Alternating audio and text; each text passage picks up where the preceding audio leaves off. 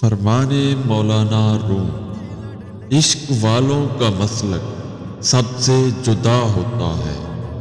आशकों का मज़हब और मसलक सिर्फ़ खुदा होता है। मसनवी मौलाना रूम